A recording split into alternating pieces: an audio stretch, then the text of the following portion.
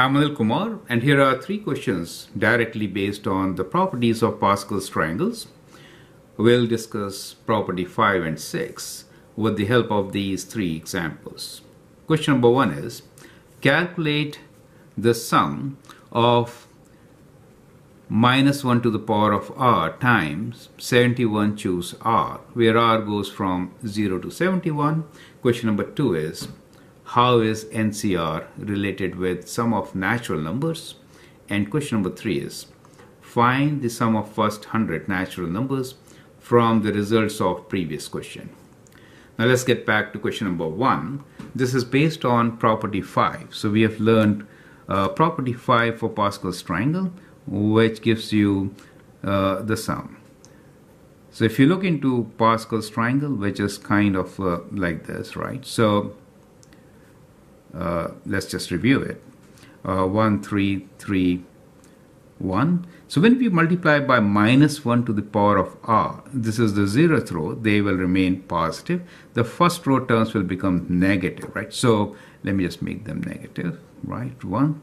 Second row will remain positive, the third will become negative, correct? So that is how you will get the terms and this, of course, extends. So when you find the sum, so the sum of the first row is indeed equal to 1, but for the other rows, 1 minus 1 is 0, and when you add them up, 1 minus 2 plus 1, again 0, and then again 0, right? So what you see is that the sum is 0 when n is not equal to 0, correct? So only in 0 row, so here n equals to 0, is that okay? And in this case, n equals to 1, and so on. So when n is equal to 0, the sum is 1. But if n is not equal to 0, in that case the sum is 0. So that is your property 5, right? So from this property, we get this sum should be 0, correct? So that is the direct application. Question number 2 is, how is NCR related with sum of natural numbers? So we know sum of natural numbers is indeed equals to n plus 1 CR, right? So, or rather n plus 1 C2. So in this series, uh, the third column actually gives you the sum of natural uh, numbers. I mean, okay, so this is 0, 1, 2. That gives you, this, this series gives you the sum of natural numbers if you see. So if you extend it, I mean, it may be uh, clear.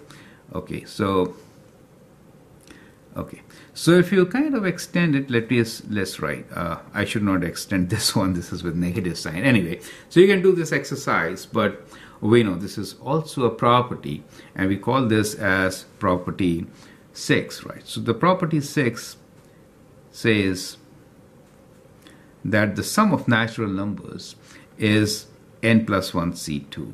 So that is what the property is. And question number three is related with that property.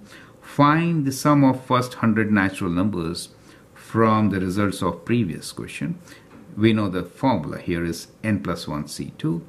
n is equal to 100, right? So first 100 numbers. So we'll have uh, n plus 1, which is 100 plus 1. So we get 101 C2 as the answer. We can use calculator to find 101 uh, C2 gives us 50-50. So that is the result. 50, 50 is the sum of first 100 terms, correct? So that is how we can apply these properties of binomial coefficients, I should say Pascal's triangles, and solve these questions. I hope that helps you to review what we have learned about Pascal's triangles and the relation with binomial coefficients. I'm Anil Kumar. You can subscribe and share my videos. Thank you and all the best.